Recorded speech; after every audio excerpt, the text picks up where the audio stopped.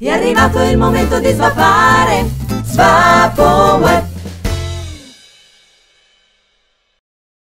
Con il comandante Mauriello parliamo di nuove regole di sicurezza per quanto riguarda gli eventi nei vari comuni. Ci sono restrizioni dopo i fatti di Torino. Comandante, ci può spiegare quali sono le regole da seguire da oggi in poi? Gli eventi del, di, di, Torino, degli eventi anche piuttosto gravi, insomma, che hanno visto configurare delle, delle importanti responsabilità, ehm, il capo della polizia con una recente circolare ha, ha stabilito delle dei dettagli molto precisi su come ehm, organizzare e autorizzare le manifestazioni su aree pubbliche. Ehm, diversamente da prima, dove c'era un tetto di 200 persone, ora non c'è più, eh, almeno da quello che è stato possibile interpretare dalla circolare, un tetto di 200 persone dove mh, poter derogare diciamo, dal rispetto di, certi, eh, di, certe condizioni di sicurezza. La circolare stabilisce sostanzialmente delinea due concetti, questo safety e questa security.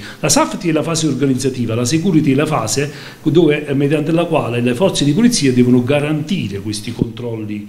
Oh, sostanzialmente eh, vanno ben delineate le aree dove si svolgono queste manifestazioni, individuando il numero dei partecipanti, eh, il controllo di chi è preposto al controllo degli ingressi e stabilire il numero entro il quale eh, poter bloccare l'accesso a quelli in sovrannumero a, nelle aree di manifestazioni e in più eh, individuare bene le responsabilità oltre all'intervento e le prescrizioni in materia di sicurezza antincendio e quant'altro, materie che comunque già prima erano ben disciplinate. Come ci stiamo organizzando? Um, ogni comune dovrebbe avere una commissione locale uh, per far fronte al, al, al, rilascio delle autorizzazioni di queste manifestazioni. Il comune di San Martino sta in itinere, in itinere la costituzione di questa commissione dove stabilire per ogni zona dove in genere si fanno le manifestazioni quali sono le prescrizioni e a quali, a quali adempimenti l'organizzazione deve adeguarsi per poter garantire in sicurezza la manifestazione. Certo sono vincoli molto restrittivi.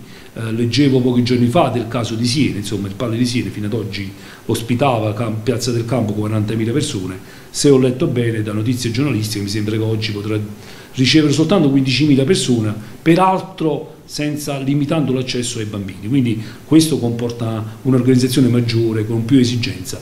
Questa cosa però ormai è anche a livello nostro, anche per le piccole manifestazioni si dovranno rispettare delle regole ben precise. Comandante, per chiudere, chi volesse organizzare un evento, quindi come si deve comportare? Deve prima, deve prima cosa preoccuparsi prima, cioè non, almeno un mese, un paio di mesi prima, cercare già di creare il procedimento per essere autorizzato.